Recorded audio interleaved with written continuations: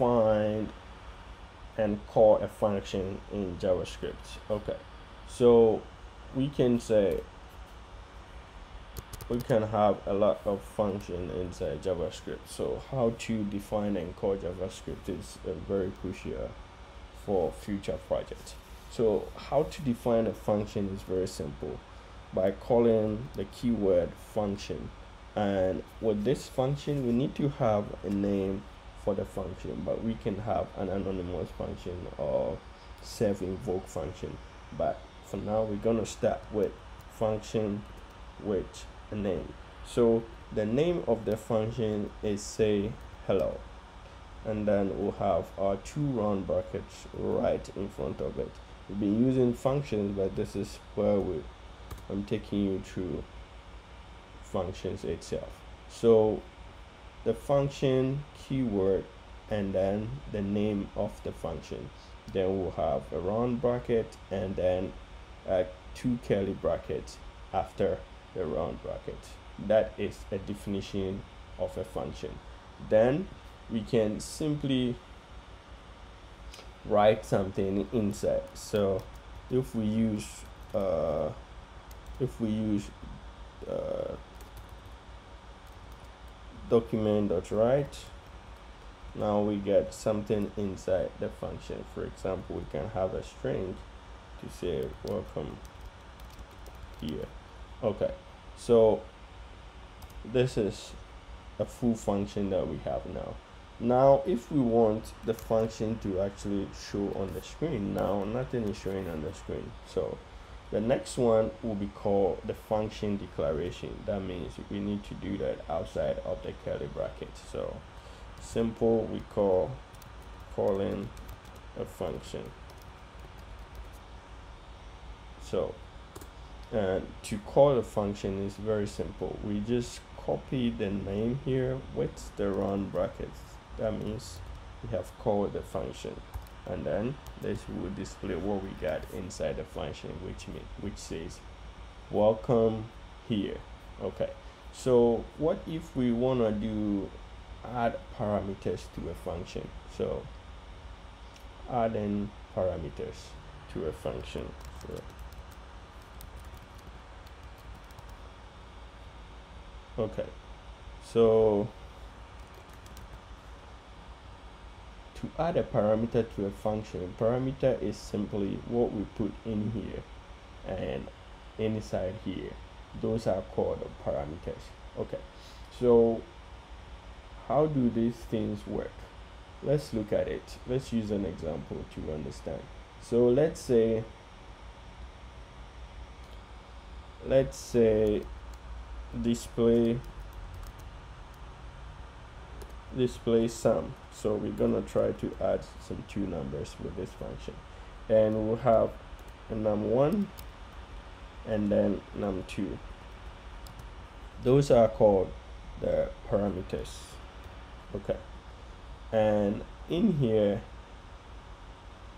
in here we'll have a variable let's say total since we want to do a sum so we want to use some meaningful variables. And call these two parameters we have here very simple here but in here will be a plus to help us add those parameters we'll be passing to then we'll call this variable here without quote inside. Okay now we have to call this function but when we call this function with the parameters like this here just like how we did the calling the function here we need to provide a value which will be will be for num1 so for example 5 is for num1 and then 23 is for num2 so it simply means we call the function and then we pass real values to these placeholders. And then these placeholders will perform an addition calculation here and then display the result to us. So let's check this on the screen. So we have 28 there because 23 plus 5 will give us a 28 okay that is really cool right?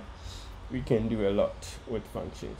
But let's look at uh, let's look at passing argument to a function. So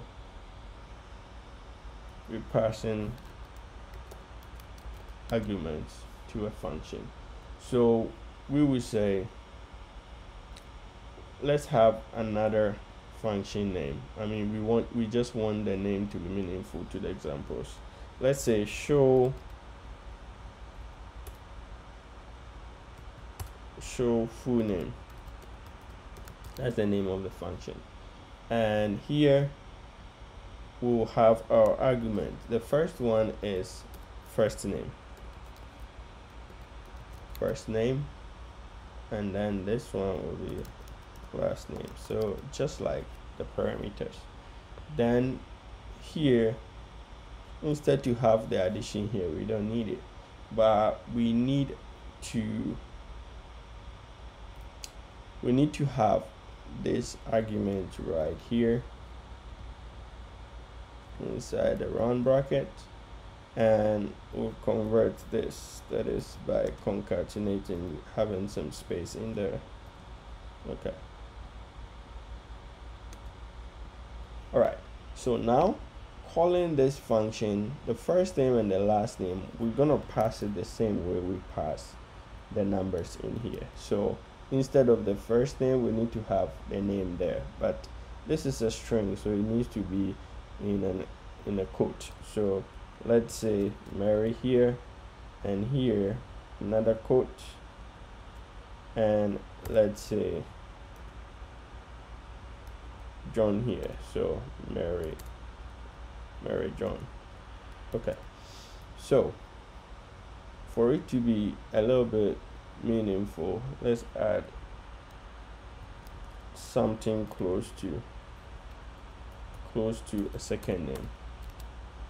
Okay. Everybody knows Mary is a first name. So let's look at this side. Now we have Mary Awura which means what we passed here. This one goes to this side and this one goes to that side and then it returns the first name and the second name with a space in between these two here. So this is how we pass argument in javascript. Let's look at let's look at how to return return return a value a value from a function. Okay so to return a value from a function is basically the same as what we did first. What we did first in our example. Let me paste this and then copy this real quick. Okay. So I just want to revert to real quick to the sum function we had. And we're gonna use that one for the example. So we say this display numbers and then we have document dot write which is total. Instead to use this document dot write we can simply use a return keyword and that is going to also print out what we use for the document dot write the same thing that it's gonna do for us. So this is how we do return. So it, let me see. So we have num display sum total num plus one return and then displaying the value we need to oh here. To display the value we need to now bring the document here. So to display on the screen we need to have the document write so we have the document write in here. Then we'll have the name of this inside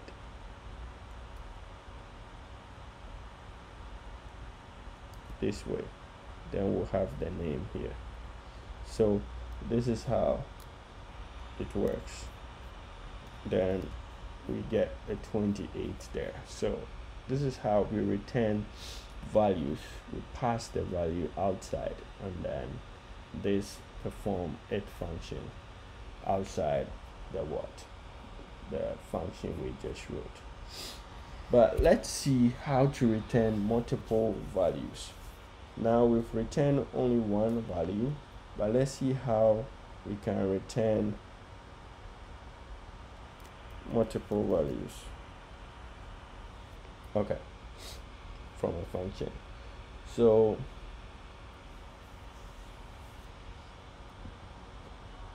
so with the same mm,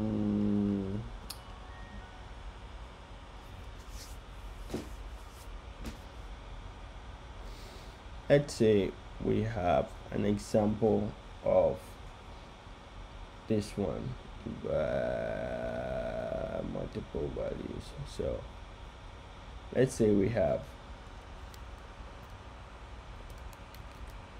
we have dividend here then we have divisor here. Okay then we'll have a variable of a quotient. So we want to demonstrate multiple quotient. And the quotient will be equal to the dividend divided by divisor which is this. Okay. Then we'll have an array. So let's say we have an array. So this is just a variable. And then we'll have have dividend divisor and then a quotient here.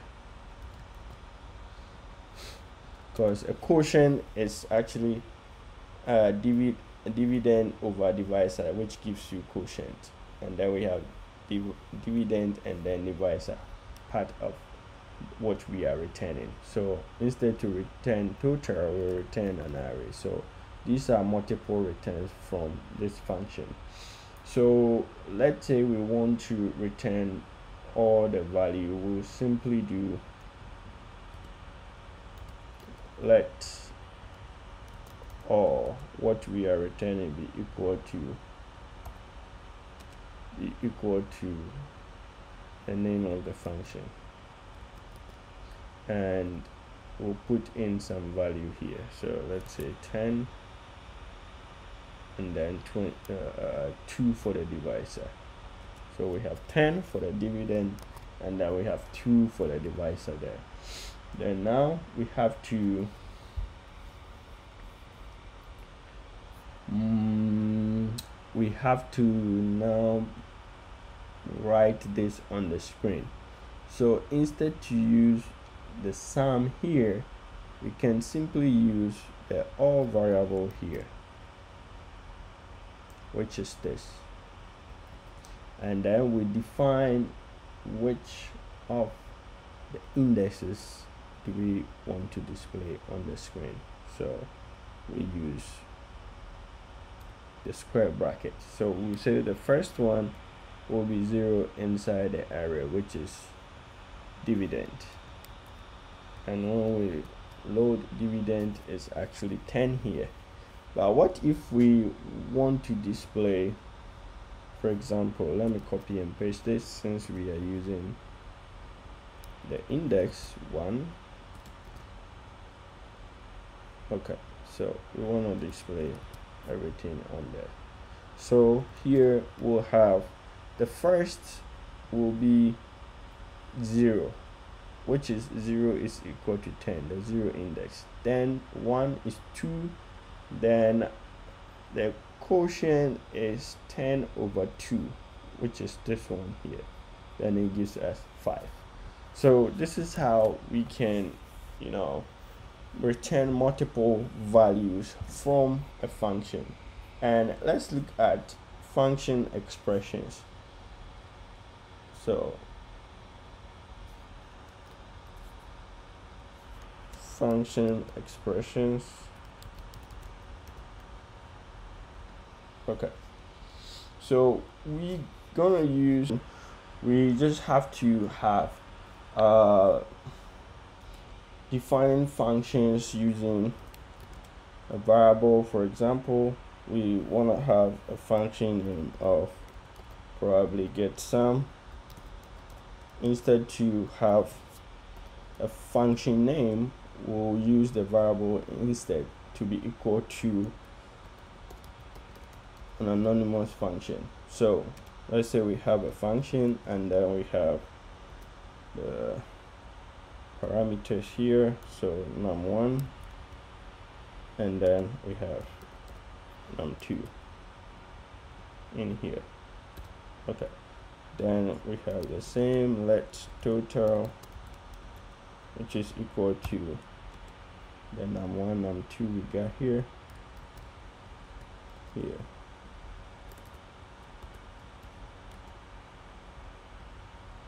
Okay and then we have to return the total okay then here we're gonna have print what we get here so document dot write and then we have uh, get this here. So get anonymous function without that then we replace the norm with a and a number here so. Great.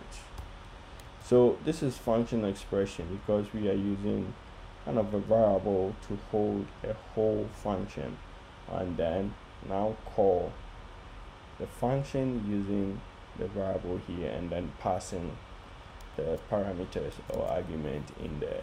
That is function expression so let's see what we can do with declaration versus function expression. So we learned the function declaration and now we've learned the function expression. Okay. So let's say we have this as a function declaration. So I move down here a little bit. Now let's add a function declaration. So for example we're gonna have mm, we're gonna have a function declaration here. And with this function I'm gonna name it uh, declaration. Okay. Declaration and have the round bracket then and in here we want to print something. To the screen then we'll say we want to print a string so inside a quote then we say uh, this is function declaration okay. Then we'll have the function expression so. So instead to do this we want to have expression we want to use expression for this so it comes out really clear to us. This one we will not be having just for demonstration purpose so we keep it very simple. So function declaration and function for expression. So these are the two different ways we can declare functions. Okay so we declare this one here. Now we have function declaration and we have function expression. And to call this one is very simple.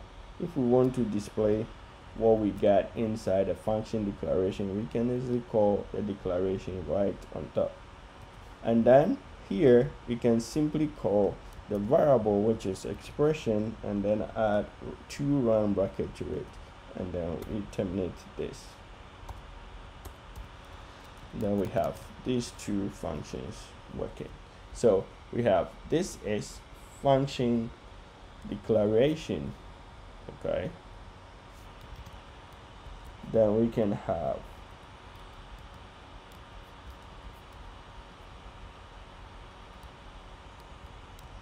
we can have the let me save this. Oh function.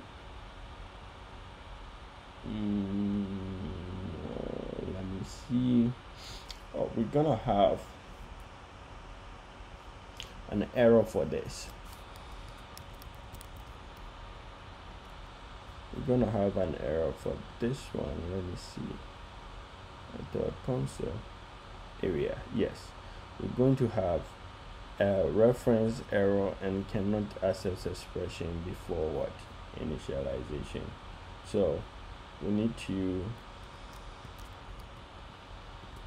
bring this down and then run it again. So you see for the function declaration we were able to call the function right on top of it. But for the function expression we need to call the function uh, below the whole expression. So I mean that is that is expression and then declaration of function for you. So this is what we got here. All right so you can easily use any of them in your project. Now let's look at the JavaScript local variables. So local variables. Okay. So let's say we want to declare a simple function. We can use the function declaration the same for the example but let's see.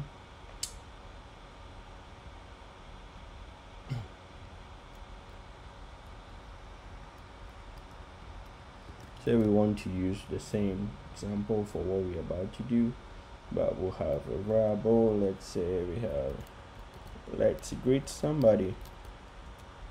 What's this? By assigning a string to that. It's just tweaking it a little bit. We can use what we have here but then we say hello. So I can call this variable and it's basically the same. If I don't call the variable I can write it in here. It's the same. Okay. So we got hello there. Now we want to access this. Greeting in another let's say the declaration in another document all right what will happen is it's gonna actually display an error. So this variable here cannot access outside of the function but it can access inside this confined blocks so if I want to if I want to access this variable inside here it won't let me so great.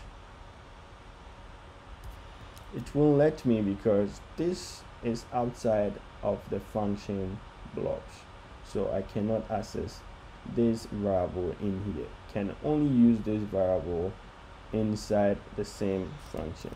So for example if I run this I'm gonna get the greet is not defined which means it's outside of what? Of the function so we cannot access it here unless we access it inside the what? The function block so that is what is termed the local variable. So let's say we have we want a one which we can access outside it. That one we use what we call the global variable. Okay.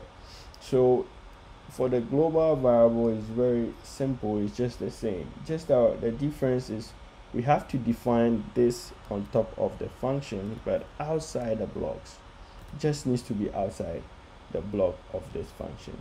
So the same function with the same variable being called but we declare that on top of it. So that means we can access this same variable outside of it what of it function. So for example I can write document dot write and access this variable greet here.